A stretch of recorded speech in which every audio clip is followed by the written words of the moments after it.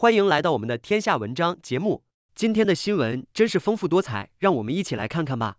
首先，日本正在举行第十届太平洋岛国峰会，十八个成员国的代表齐聚东京，讨论气候变化、海平面上升和海上安全等重要议题。这次峰会不仅是应对全球气候挑战的关键时刻，也成为中国和西方国家争夺地区影响力的焦点。日本首相岸田文雄强调，日本将继续与太平洋岛国携手应对共同挑战，并在峰会上发表联合声明。接下来，中国的食品安全问题再次引发热议。最近，油罐车混装事件和泡面中发现疑似鼠头的事件，让消费者忧心忡忡。这些事件凸显了中国在食品安全措施上的长期困境。专家指出，尽管中国拥有世界上最严格的食品安全法之一，但如何有效执行这些法律仍然是个大问题。改善食品安全需要政府、企业和消费者共同努力。最后，美国共和党正式提名川普为二零二四年总统大选候选人，并宣布俄亥俄州参议员万斯为其副手。万斯曾经批评川普，但后来成为他的坚定支持者。万斯的出身和政治立场有助于川普在铁锈带地区争取更多选民支持。万斯对中国立场强硬，支持加征关税和限制移民政策，并关注中国对美国关键基础设施的影响。请大家继续收看详细内容。中国与气候变化威胁笼罩日本举行的太平洋岛国峰会。美国之音中文网，第十届太平洋岛国峰会 （PAM） 星期二，七月十六日起在东京举行，十八个成员国的代表将一同讨论气候变化、海平面上升及海上安全等问题。值此之际，西方国家正与中国争夺在该地区的影响力。太平洋岛国峰会是每三年一次邀请南太平洋岛国领导人到日本举行的国际会议。在为期三天的峰会中，日本首相岸田文雄将分别会见各国领导人，并担任星期四七月十八日峰会的共同主席。在峰会前，岸田文雄表示，日本和太平洋岛国论坛 （PIF） 成员一直携手应对气候变化和灾害管理等共同挑战。随着我们适应不断变化的环境，日本将继续与太平洋岛屿国家和地区一起向前迈进。岸田文雄在《日本时报》刊载的署名文章中写道：“峰会预计于星期四（七月十八日）发表联合声明，与会者包括日本、帕劳、密克罗尼西亚联邦、马绍尔群岛、澳大利亚和新西兰在内等十八个太平洋岛国论坛 （PIF） 的代表。澳大利亚和新西兰的总理不会出席。”北京近年不断扩大在太平洋地区的影响力，例如基里巴斯和所罗门群岛于二零一九年与台湾断交，转而与中国建交。今年一月，瑙鲁也采取了类似行动，这是北京争夺影响力的最新势力。尤其值得注意的是，中国二零二二年与所罗门群岛签署秘密安全协议，引起区域国家关注，担忧中国可能会利用该岛在该地区获得战略军事立足点。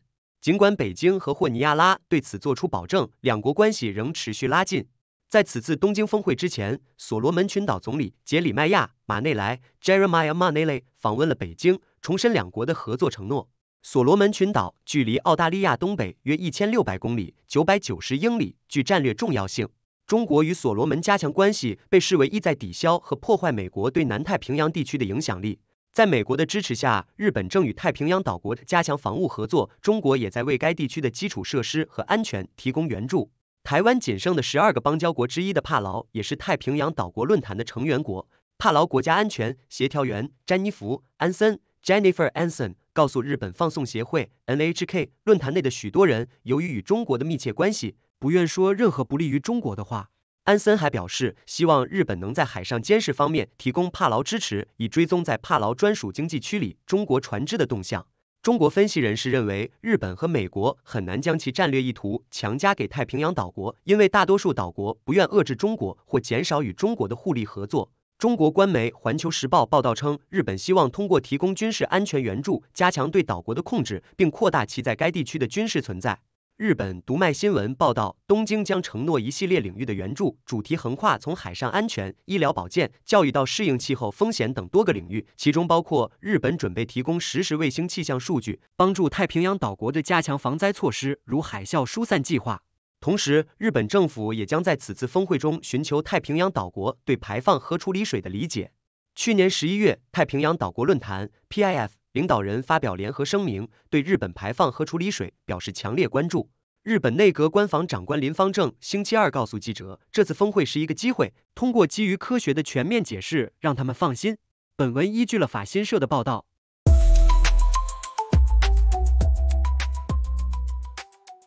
油罐车鼠头连发，中国食安出了什么问题？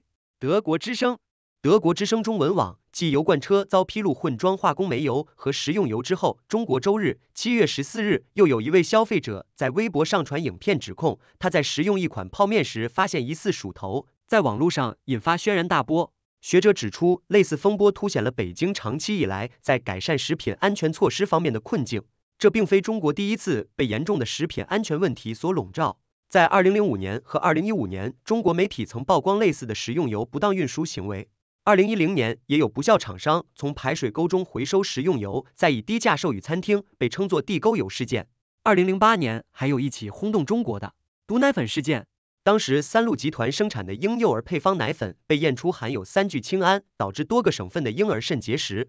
涉嫌生产并销售该奶粉的主犯遭判死刑，此案也促使中国首部食品安全法于隔年通过。对此，中国食安监管政策变革研究者、约翰霍普金斯大学政治学副教授约翰小次郎安田 John Kojiro Yasuda 告诉 DW，近期的油罐车混装事件表明，即便在数十年的努力之后，中国仍然处于食安系统转型的初期阶段。他向 DW 强调，改善中国食安体制是一项仍在进行中的工作，毕竟这不是一朝一夕就能解决的问题。老鼠头油罐车混装风波。十四日，有中国网友发布影片称，在食用统一老坛酸菜牛肉面时，吃到异物，发现疑似是鼠头，我还咬了一口。统一企业事后回应，产品都是经过检验合格才出厂销售，目前已向消费者取得联系，并派人拜访，并已将原发影片撤除。目前该案还在内部调查当中。此事件引发网友热议，有人质疑，食品安全就这么难吗？并有不少人讽刺调查结果可能确认是鸭脖，也有人呼吁应等待官方消息。去年六月，有一名中国学生表示，在学校食堂用餐时吃到老鼠头，通报并经过调查后，一度判定涉事之异物为鸭脖，属正常食物。但在舆情发酵不久后，政府部门才联合调查出，确定为鼠头。近期燃烧的油罐车混装事件，最初由《新京报》于七月二日披露，两辆刚卸完煤制油的罐车，在并未洗罐的情况下，立即装上了食用油，并进行配送。涉事企业分别是汇福粮油集团和中储粮油脂天津有限公司，两家业者都表示已针对上述指控展开内部调查。报道指出，这种节省成本的运油做法已成为产业供应链中。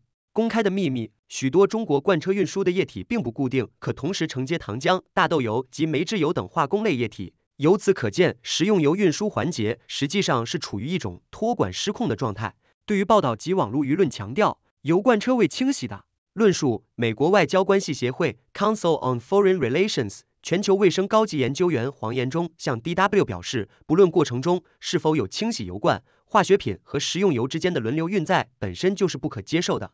就像即使马桶被清洗过，你也不会从马桶里喝水。他说，习近平能改善食安问题吗？近期接二连三的食安风波，恰好发生在中国展开备受瞩目的三中全会前后。黄延忠认为，由于相关议程都已事先拟定，北京不太可能临时将食安问题变成会议的优先讨论事项，但很可能对其造成一定程度的压力。中国国务院食品安全办公室此前表示，对食用油混装事件高度重视，已成立联合调查小组彻查运输环节，对于违法企业和相关责任人将依法严惩，绝不安宁。自二零一二年上任以来，中国国家主席习近平多次誓言要解决中国臭名昭著的食品安全问题。在二零一三年的一次公开谈话，习近平曾表示，如果党连各食品安全都做不好，还长期做不好的话，就会有人提出够不够格的问题。所以，食品安全问题必须引起高度关注。然而，在食用油丑闻爆发后，中国媒体报道，一款提供货车定位资讯的应用程式停用了其货车轨迹查询功能。同时，有网友发现，当时揭露此一事件的《新京报》调查记者韩福涛，其微博账号突被注销，引起有关人身安全的担忧。黄延忠认为，从此是可见媒体在改善食安问题的关键角色，一来能提供消费者重要资讯，二来是起到监督政府作用。但像韩福涛一样的调查记者，在中国逐渐濒临绝种，此类调查报道属于少数个案。安田则分析，尽管北京将食品安全视为优先事项，但他对于习近平会否愿意开放权力的闸门，赋予消费者和媒体更多权利来解决问题，持怀疑态度。反之，习近平可能会设想。一个更加强大和有力的国家机器来解决食安问题，改善食安的关键。中国拥有世界上最严格的食安法之一，第一部食品安全法正是在二零零九年上路，至今经过多次修订。黄延忠认为，与其进一步收紧规范，如何加强这些法律的执行更为关键。二零一八年，中国在第十三届人大会议上通过国务院机构改革方案，废除了食品药品监督管理总局 （FDA），并将管理食品和药品权责分拆成不同机构，合并至市场监督管理总局之下，隶属在国务院底下。这意味着监管食品安全的功能被削弱了。黄延忠告诉 DW，并补充说，中国政府本应该赋予 FDA 更多权力，甚至使其超越中央部级水平。但学者安田认为，中国在机构改革之后的总体食安发展趋势是正向的，只是中国的食品市场极度复杂且分散，无法单凭政府部门来解决问题，市场上也必须拥有相当警惕，能够积极惩罚不遵守食安规定业者的消费者群体。他指出，中国消费者因对市场缺乏信任，普遍不愿意出于安全因素购买相对较昂贵的商品，导致供应商也缺乏激励制度去提供更高质量的食品，形成了一种恶性循环。此外，持续推进农业现代化也非常关键。安田告诉 DW，即使在现代的中国，农产食品生产商和分销商的数量仍是相当巨大的。当你面对的是大约一点五亿到两亿个农场时，政府要从基层开始监管是非常具有挑战性的。Copyright 二零二四年德国之声版权声明：本文所有内容受到著作权法保护，如无德国之声特别授权，不得擅自使用。任何不当行为都将导致追偿，并受到刑事追究。作者李幼珍。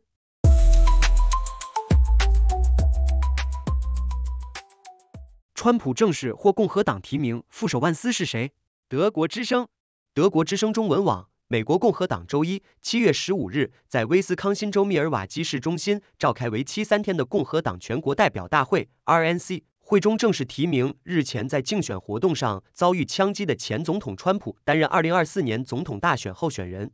川普透过社群平台宣布，与他搭档的副手人选为三十九岁的俄亥俄州参议员万斯 （J.D. Vance）。随后，在十五日晚间，川普也现身共和党大会，右耳包着纱布，这是他遇刺之后首度公开露面，并且与万斯同台。川普预计十八日发表提名演说。稍早，有数百名抗议者聚集场外，来自多个团体的活动人士举着标语，上面写着“与巴勒斯坦站在一起，我们再也负担不起富人的费用和捍卫和扩大移民权利”。现场还有人举着支持堕胎权的标语。万斯昔日曾批川普。根据记录，万斯在高中毕业后加入美国海军陆战队，曾驻伊拉克服役。他曾在俄亥俄州立大学及耶鲁大学法学院求学。二零一三年获得法律博士学位，并于二零一六年出版《绝望者之歌》（Hillbilly Elegy: A Memoir of a Family and Culture in Crisis），内容以自身经验描述美国白人劳动阶层的生活及该族群所面临的社会问题。该书后来改编为电影，不仅让万斯声名大噪，也被视为理解川普崛起现象以及他为何能在美国中西部铁锈带地区吸引大量劳工阶级和农村白人选民支持的重要著作。值得注意的是，万斯踏入政界之前曾发表反川普言论，批评川普危险且不适任美国总统。万斯的印度裔妻子也曾批评川普的种族主义言论。时代杂志报道，万斯曾经在给法学院室友的信中称着川普可能是美国版希特勒。二零二一年，万斯与川普会面后改观，并引述了川普担任总统期间的成就，并淡化了万斯过去的反川普言论。万斯二零二二年当选参议员后，更成为川普在国会中的坚定盟友，对于川普争议的行为及政策采取支持立场。川普为何选择万斯？时代杂志报道指出，对川普而言，万斯出自贫困家庭的背景，让他与白人劳工阶级选民建立了真正的联系，与他的意识形态上也最为一致。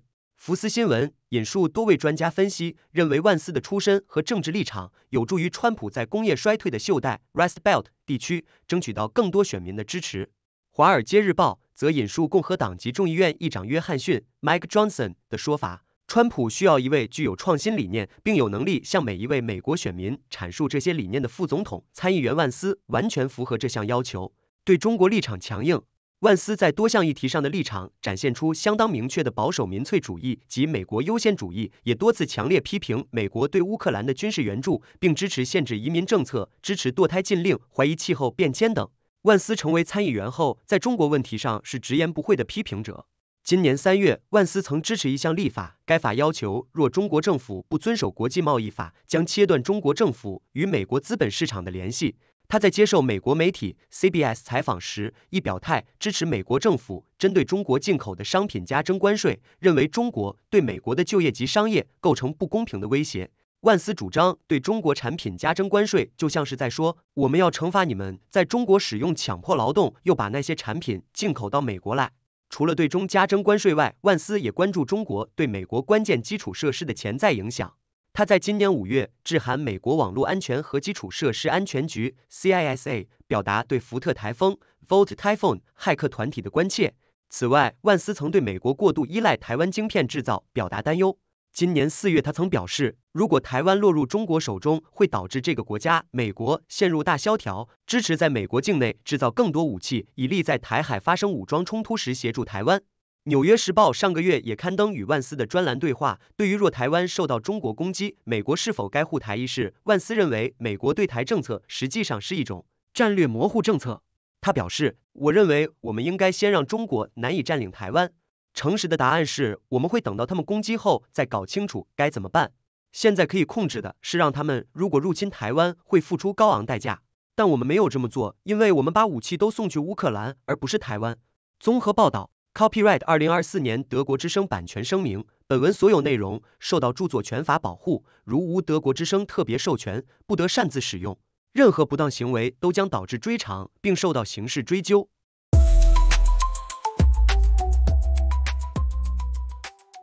谢谢大家收看以上节目，这是我们的编辑团队为大家搜集整理的认为有价值的信息观点，但是并不一定代表我们立场，不作为任何行为的建议。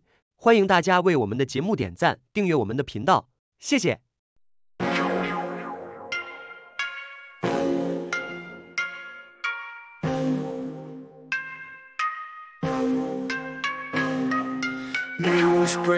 Buzz the ground. Stories spin, walls come down. Voices merge in the sound. Faces mix in the crowd. Broadcasters paint the scene. World events on our screen. Every link a different theme. Words collide in the stream. Six degrees connect the dots. Background stories more than us. Voices rise a lot. Truth unveils in every spot. Cultures clash across the globe. Spin the threads in a stroke Every story wears a robe. Truth and lies in their code. Journalists dig real deep. Secrets out, they don't sleep. Every angle they'll keep we take a leap. New perspectives day by day. Hidden truths come to play